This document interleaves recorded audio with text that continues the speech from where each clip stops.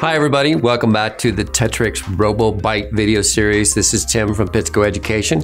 Today's RoboByte I want to talk to you about bevel gears and our acetal bearings. So bevel gears, they're part of our motion category in the Tetrix ecosystem. They're solid aluminum as you can see and they're used like any other gear as far as power transmission but they're specialty gear in the fact that they're specifically designed to change the axis of rotation 90 degrees at least. So a common example of how that would work is something like we've got right here. I've got, this is probably the simplest application where I have potentially power input on this side in this axis of rotation and through my bevel gears connection I'm actually changing that 90 degrees. That's one of the simplest applications of that. A real world example, another example would be something like I've got right here. This is an example of uh, a good example of a differential like you'd see in the differential of just about any car out there. Through a series of bevel gears, I'm allowing for multiple axes of rotation in that specific uh, application. Uh, something that's a little bit uh, maybe not as typical, but again, a good use case for bevel gears is something like we've got right here.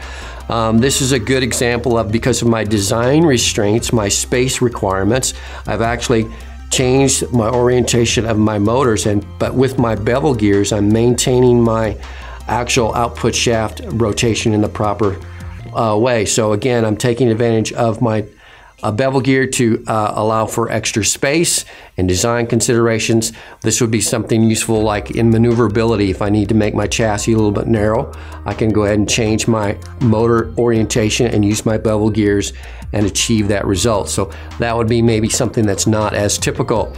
Um, things to remember when you're using bevel gears, just like any other gear application, you want to make sure that you've got alignment um, maintained. If I have these where they're not properly meshed, they can skip, pop, and your gears will wear out sooner than what you need to, or potentially your drive transmission could fail. So again, those are things to keep an eye out for extra resources. Remember guys, you can always go to pitsco.com and at the bottom of every product page, you'll find things like spec sheets, CAD files, everything you need to know specifically about those particular pro products are at the bottom of the product page. So like we always say, have fun, build some robots, and come back and see us.